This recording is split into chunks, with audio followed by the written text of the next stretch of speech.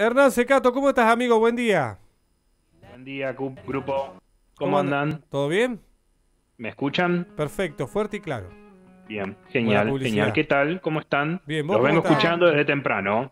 Ah, sí, ¿a qué hora empezaba a escucharlo? Sí. Y a las cinco y cuarto, cinco y media ah, ya estoy bueno, conectado. Ya está la solución. Una mentira, Ahí eh. está la solución. es verdad, es verdad, los estoy escuchando. Ahora me conecto acá, pero lo escucho desde el celular. Bueno, entonces podemos hacer los micros los martes a las cinco y media de la mañana. Vamos a ver, no creo. No, no, no, no me arrugué ahora. Lo, No, lo bueno, compromete. no. Este horario está bueno, este horario está, está sirve, sirve. ¿Cómo se ríe Nacho Pareciera que a, a veces parece como que nos organizamos porque recién estábamos escuchando este tema de Homero, que tiene algo de vinculación con lo que voy a hablar hoy. Y no sé, a veces parece que lo hacemos a propósito, parece No, que hay producción. eh, eh, lo hacemos a propósito, Nan, esto Claro. está todo Parece- fríamente parece calculado. no producción, diga- dice, parece claro, producción. es así, esto está todo fríamente calculado, todo está planeado Gasper, el productor Gasper, un abrazo grande. ¿eh?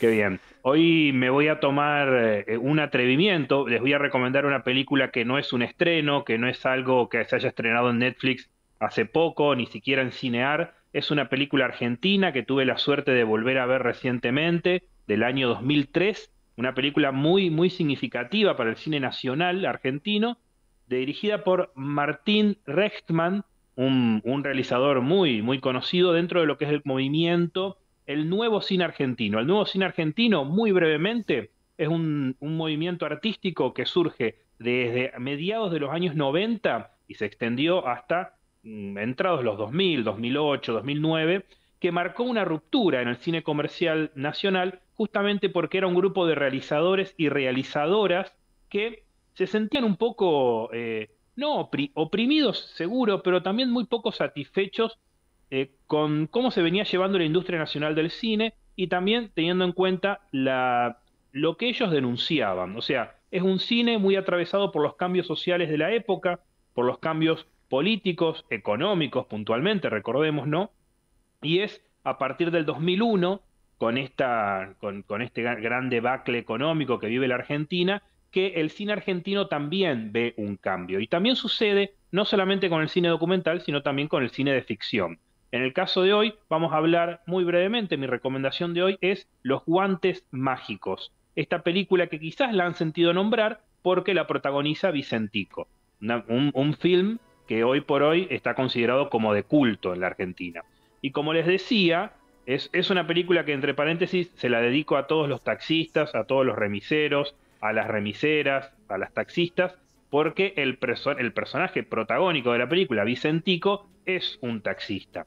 Y todo lo que sucede a lo largo de la película le va sucediendo a este personaje que está siempre montado, casi siempre, pero de forma casi poética, digámoslo, metafórica, siempre sentado en su Renault 12 y tiene mucha, mucha significación lo que simboliza el automóvil para este personaje. Recuerda un poco al, al ladrón de bicicletas, ese clásico del neorrealismo italiano de De Sica.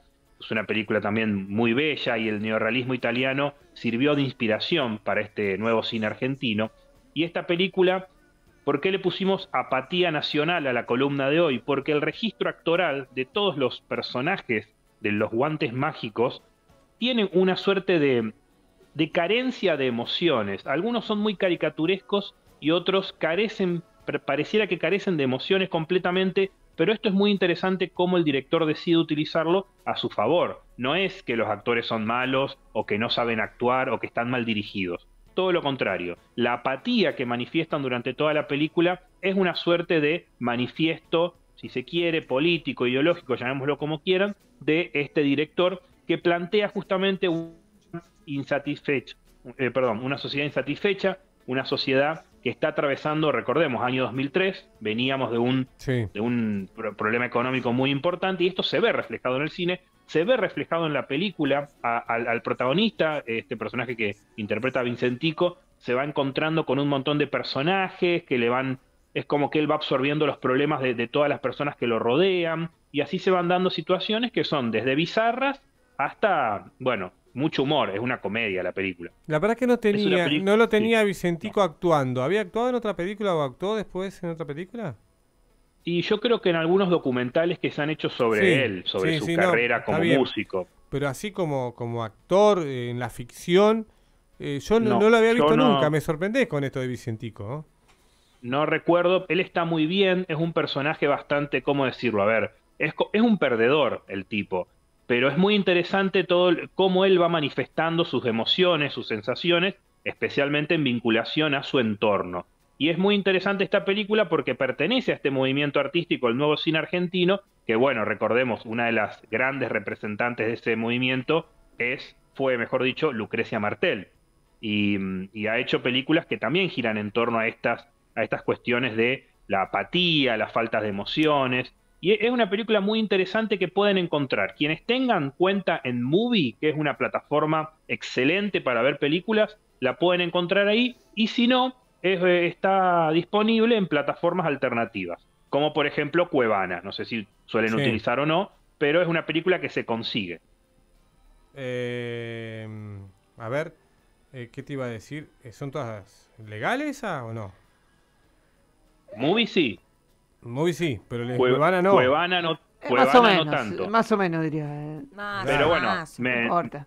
me, me tomo, digamos, el atrevimiento de recomendar esa plataforma porque, vamos, o sea, sabemos que la gente la usa, no es un misterio, y que, bueno, si, si desean verla por ahí, porque no quería, no quería que quede que traiga una película y que ustedes no la pueden ver, no pueden acceder a ella. Ah, está Eh, bien. yo la vi a través de Movie, que es una plataforma que se paga, pero bueno. Yo- y Movie no la tenía yo a Movie como una plataforma más. ¿eh? No, no, yo tampoco, no la conocía. con ¿De quién es? ¿De quién es Movie? Movie co- No, eh, estoy seguro a quién le pertenece. No es una productora de contenidos, es una, Es una, una plataforma, especiali- eh, de internet, sí, digamos. especializada en cine, claro, eh, de- especializada en cine de autor. Una, una plataforma muy para cinéfilos, tiene cine muy, muy variado. No tiene películas de Netflix, no tiene, eh, tiene relativamente pocos estrenos del momento, mucho cine europeo, mucho cine latinoamericano.